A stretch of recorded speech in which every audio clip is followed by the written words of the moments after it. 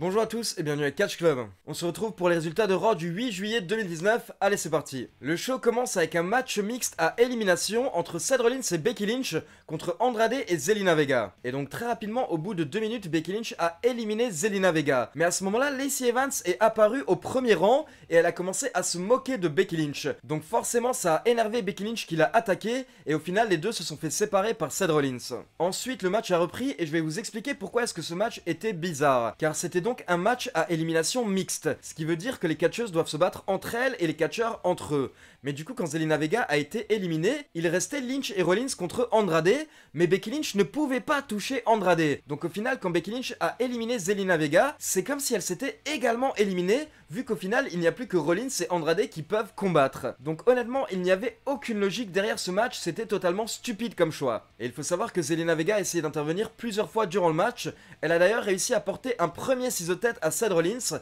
et quand elle a essayé d'emporter un second, elle s'est fait bloquer, et cette fois-ci, elle s'est fait attaquer par Becky Lynch, et pendant ce temps, Seth Rollins en a profité pour porter son stomp sur Andrade pour la victoire. Donc vainqueur, Becky Lynch et Seth Rollins, mais tout de suite après le match, pendant qu'ils sont en train de remonter la rampe, ils se font attaquer par Baron Corbin et Lacey Evans.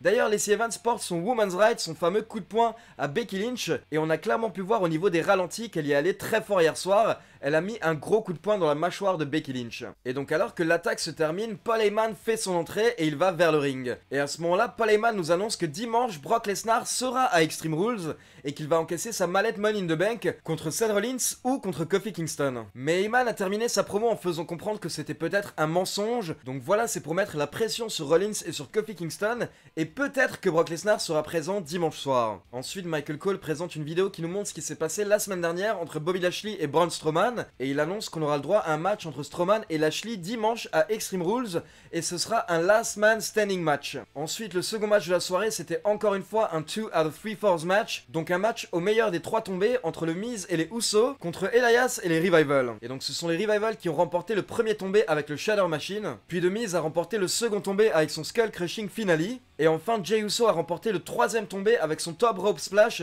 sur Dawson. Donc vainqueur les Usos et Miz dans un 2 out of 3 falls match, c'est totalement illogique d'avoir trois tombées en si peu de temps. Ensuite, Michael Cole nous annonce qu'Alexa Bliss n'est pas présente ce soir, du coup on aura le droit à Nikki Cross et Bailey qui vont participer à un Beat the Clock Challenge, et la vainqueur pourra choisir la stipulation du match entre Alexa Bliss et Bailey pour dimanche à Extreme Rules. Puis on a le droit à une petite vidéo qui nous résume la semaine de Drake Maverick depuis qu'il est devenu champion 24 sur 7 la semaine dernière. Et donc on peut voir qu'il a passé sa semaine avec sa femme, mais que le titre 24 sur 7 est beaucoup plus important pour lui que sa femme. Du coup justement on retrouve le couple en coulisses, mais très rapidement il y a une dizaine de catcheurs qui commencent à courir derrière Drake Maverick qui doit s'enfuir. Ensuite on a le droit à l'entrée de Rey Mysterio. Rey Mysterio explique que ça a été très difficile pour lui de rendre le titre des États-Unis, mais il était blessé et apparemment il devait être absent plus longtemps. Mais au final, sa convalescence s'est bien passée, il a bien travaillé, et donc il peut effectuer son retour ce soir, et il lance tout de suite un Open Challenge.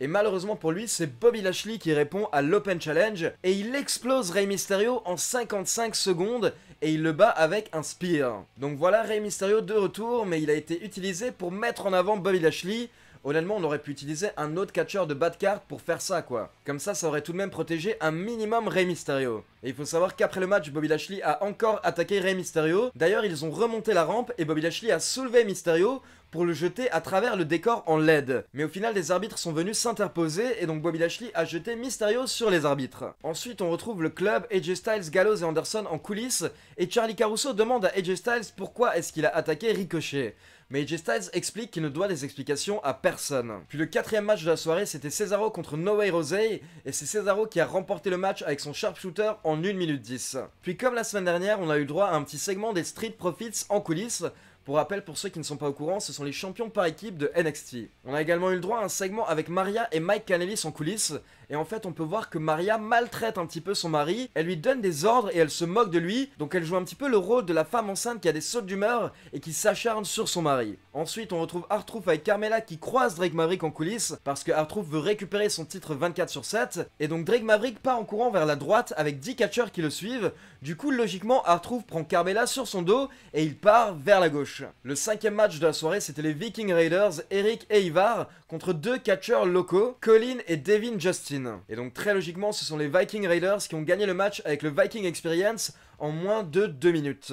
Ensuite, on a le droit à Ricochet qui fait son entrée pour son match ce soir face à Luke Gallows. Mais il explique qu'il sait que ça ne va pas être un match 1 contre 1, car il sait que Carl Anderson sera avec Luke Gallows et que AJ Styles ne sera pas très loin. Donc il dit qu'il est prêt à se battre contre les trois catcheurs. Et donc le club fait son entrée et on a le droit au match Gallows contre Ricochet. Le match a duré 3 minutes et au final Ricochet l'a emporté grâce à un roll-up. Mais le club était clairement très énervé après le match donc AJ Styles a pris le micro.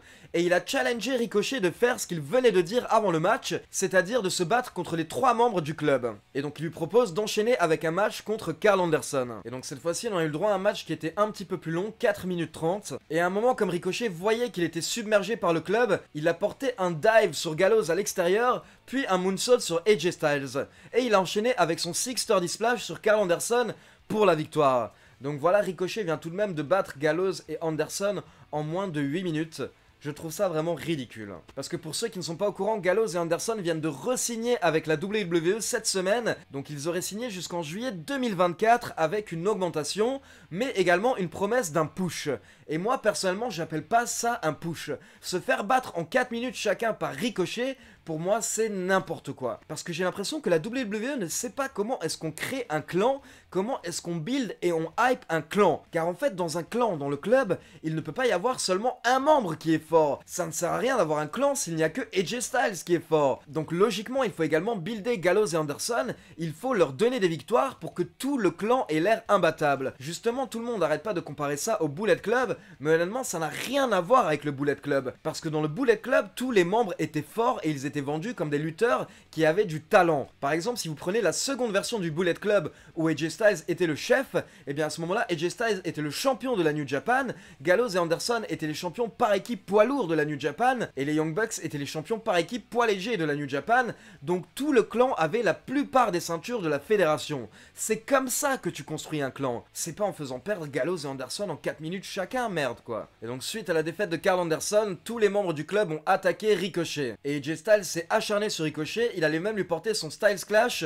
mais au final il s'est arrêté, et les trois membres du club sont sortis du ring en disant à Ricochet de rester au sol. Mais alors que les membres du club étaient en train de partir, Ricochet s'est relevé dans le ring, du coup le club est remonté sur le ring pour attaquer Ricochet, et AJ Styles lui a porté son phénoménal forearm. Donc voilà, l'attaque après le match était solide, mais comme je l'ai dit en fait, il faut donner de la crédibilité à Gallows et Anderson.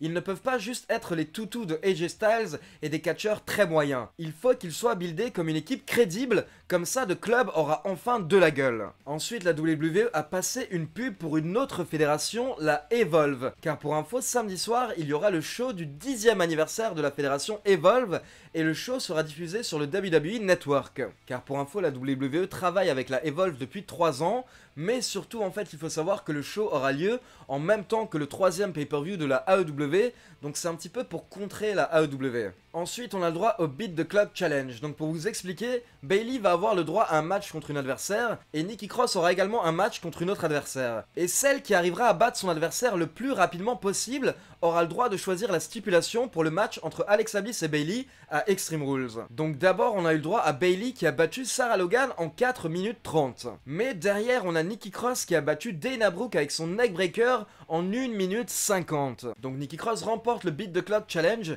et elle demande à Bailey de la rejoindre sur le ring. Elle dit que Bailey ne comprend pas ce qu'est une vraie amitié. Mais Nikki Cross dit qu'elle va lui montrer ce qu'est une réelle amitié quand Alexa Bliss va laisser Nikki Cross transformer le match à Extreme Rules en un match handicap 2 contre 1. Nikki Cross dit qu'elle va aider Alexa Bliss à remporter le titre féminin de SmackDown. Et donc Nikki Cross termine en disant à Bailey d'aller se trouver sa propre amie car elle dit que Bailey a besoin d'une amie aussi honnête et loyale qu'Alexa Bliss. Mais à ce moment-là, Bailey frappe Nikki Cross puis elle lui porte son Bailey to Bailey. Et elle termine en montant sur la troisième corde et elle porte une descente du coude sur Nikki Cross. Donc voilà plusieurs choses par rapport à ce segment. D'abord, donc apparemment, on va avoir le droit à un match handicap dimanche soir entre Nikki Cross et Alexa Bliss contre Bailey pour le titre.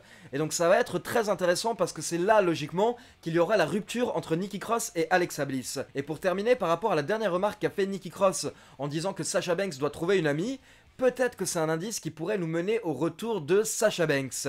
Car pour info, Sasha Banks pourrait revenir cet été. La WWE vient d'ailleurs de sortir des posters de SummerSlam 2019 et il faut savoir que Sasha Banks est présente sur ces posters et que c'est la première fois qu'elle est présente sur du matériel promotionnel depuis WrestleMania 35. Donc voilà, c'est un petit signe qui pourrait annoncer le retour prochain de Sasha Banks. Et on passe au main event de Raw hier soir. Donc c'était un match par équipe entre Shane McMahon et Drew McIntyre contre Roman Reigns et un partenaire mystère. Son partenaire en fait devait être choisi par Shane McMahon durant la soirée. Ce qui fait que durant toute la soirée hier soir, on pouvait voir Shane McMahon et Drew McIntyre en coulisses qui cherchaient un partenaire pour Roman Reigns, mais ils ne cherchaient pas du tout des catcheurs en fait. Ils ont demandé par exemple aux personnes qui faisaient le ménage ou encore à des personnes qui travaillaient au niveau technique. Et au final, à un moment, ils sont tombés sur une personne qui faisait le ménage et qui avait l'air d'avoir un problème à la jambe. Et donc, ils lui ont proposé 5000 dollars pour être le partenaire de Roman Reigns, mais ils l'ont prévenu qu'il devra porter un masque durant le match. Donc, on a le droit à l'entrée de Roman Reigns, Shane McMahon et Drew McIntyre, puis Shane McMahon présente le partenaire de Roman Reigns, donc c'était un employé de l'arène et il s'appelle Gary Garbutt. Et donc logiquement cette personne ne pouvait pas catcher, elle avait un problème à la jambe et ce n'est pas un catcheur. Donc elle devait juste rester aux abords du ring. Mais le match débute et très rapidement en fait Roman Reigns se retrouve dans le coin et à ce moment-là il touche Gary Garbutt, ce qui fait que l'arbitre prend ça comme un tag et donc c'est Gary qui doit rentrer dans le ring. Mais surprise à ce moment-là cet employé qui était masqué nous sort des prises magnifiques dans tous les sens et en fait on peut clairement voir qu'il s'agit d'un catcheur sous le masque. Donc voilà, il se défend bien pendant quelques minutes, mais au final il se prend un Claymore Kick pour le compte de 3. Donc vainqueur Shane McMahon et Drew McIntyre, et après le match l'employé enlève son masque, et en fait on découvre que c'était Cedric Alexander, Cedric Alexander qui avait décidé de venir aider Roman Reigns. Donc voilà, c'est très cool pour lui que de voir Cedric Alexander utilisé, et en plus dans le main event de Raw, mais à côté de ça, honnêtement, pour moi, hier soir, Raw, c'était vraiment une tâche. C'était limite une torture. Parce que je ne sais pas si vous avez compté en fait avec moi durant la review, mais il y a eu 10 matchs hier soir durant Raw, et la plupart de ces 10 matchs ont duré moins de 2 minutes. Honnêtement, j'arrête pas de vous le répéter depuis 3 semaines, mais cette nouvelle règle de Vince McMahon qui souhaite qu'on arrête les matchs à chaque fois avant les pubs, c'est tout simplement à vomir. Et honnêtement, c'est limite plus regardable Raw actuellement, vu qu'il y a sans arrêt des pauses, des matchs qui s'arrêtent au bout de 1 minute 30. Du coup, on se retrouve avec 20 segments et matchs inutiles en 3 heures, au lieu de se concentrer sur une dizaine de segments et matchs qui auraient vraiment de l'importance. Donc là, vraiment, pour moi, on commence à tomber dans le fond du fond avec Raw. J'ai vraiment hâte de voir des changements dès la semaine prochaine, une fois que Paul Heyman sera censé avoir pris le contrôle. Donc voilà, comme d'habitude, n'hésitez pas à me dire ce que vous avez pensé de Raw dans les commentaires. Et n'oubliez pas de liker la vidéo, de vous abonner à la chaîne et de cliquer sur la petite cloche pour être informé de la sortie des prochaines vidéos. Pour info, on se retrouve demain, donc mercredi, pour la review de SmackDown, jeudi pour la vidéo pronostic du prochain pay-per-view de la AEW Fight for the Fallen, et vendredi pour la vidéo pronostic de Extreme Rules. Ciao tout le monde